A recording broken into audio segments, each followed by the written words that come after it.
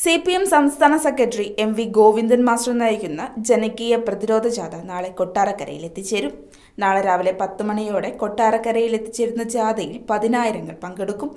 ജാഥയെ സ്വീകരിക്കുവാനുള്ള ഒരുക്കങ്ങളെല്ലാം അവസാന ഘട്ടത്തിലാണെന്ന് പ്രതിരോധ ജാഥ സംഘടനാ സമിതി സെക്രട്ടറി പി കെ ജോൺസൺ പറഞ്ഞു. എം വി ഗോവിന്ദൻ മാഷ് നയിക്കുന്ന ജനകീയ പ്രതിരോധ ജാഥ നാളെ രാവിലെ പത്ത് മണിക്ക് കൊട്ടാരക്കരയിൽ എത്തിച്ചേരുകയാണ്.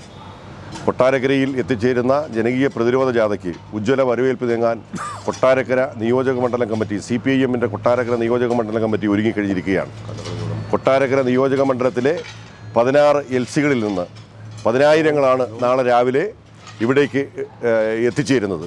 പതിനാറ് ലോക്കലുകളിൽ നിന്നായി പതിനെട്ട് വാളണ്ടിയർ പ്ലാറ്റൂൺ വാളണ്ടിയർമാർ നാളെ ഇവിടെ ഉണ്ടാവും. വനിതാ പ്ലാറ്റൂൺ ഉൾപ്പെടെ ഉണ്ടാവും.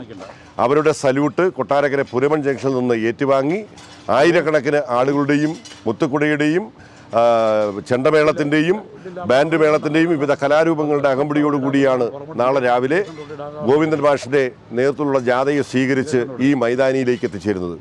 ഈ മൈതാനിയിൽ എത്തിച്ചേരുമ്പോൾ കൊട്ടാരക്കര മണ്ഡലത്തിലുള്ള ഈ പറയപ്പെട്ട എട്ട് തദ്ദേശ സ്ഥാപനങ്ങളിലുള്ള ആയിരക്കണക്കിന് വരുന്ന ആളുകൾ വരവേൽപ്പ് നൽകുകയും ഇവിടെ വെച്ച് വലിയ സ്വീകരണം നൽകുകയും ചെയ്യുകയാണ്.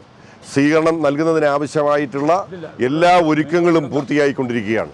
അതിനാവശ്യമായിട്ടുള്ള വോളണ്ടിയർമാരെ സംഘടിപ്പിക്കുന്ന കാര്യത്തിൽ അതിനോടൊപ്പം തന്നെ വരുന്ന ആയിരക്കണക്കിന് ആളുകളെ സ്വീകരിക്കുന്ന കാര്യത്തിൽ എല്ലാ ഒരുക്കങ്ങളും പൂർത്തീകരിച്ചുകൊണ്ടിരിക്കുകയാണ്. ഇന്ന് വൈകുന്നേരത്തോടു കൂടി കൊട്ടാരക്കര പട്ടണത്തെ ചെങ്കടലാക്കുന്ന രീതിയിലേക്കുള്ള പ്രചരണ പ്രവർത്തനങ്ങൾ ഏറ്റെടുത്തിരിക്കുന്നു.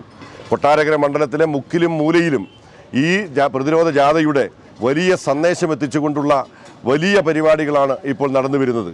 ഇന്ന് വൈകുന്നേരമാകുമ്പോഴേക്കും ഒരുക്കങ്ങൾ പൂർത്തീകരിച്ചുകൊണ്ട് നാളെ ജനകീയ പ്രതിരോധ ജാഥയെയും ആ ജാഥയുടെ ക്യാപ്റ്റനായിട്ടുള്ള സഖാവ് എം ഇ ഗോവിന്ദനെയും ജാഥാംഗങ്ങളെയും സ്വീകരിക്കാൻ കൊട്ടാരക്കര പട്ടണം ഒരുങ്ങിയിരിക്കുന്നു എന്നുള്ള സന്തോഷകരമായ കാര്യം കൂടി അറിയിക്കുകയാണ്.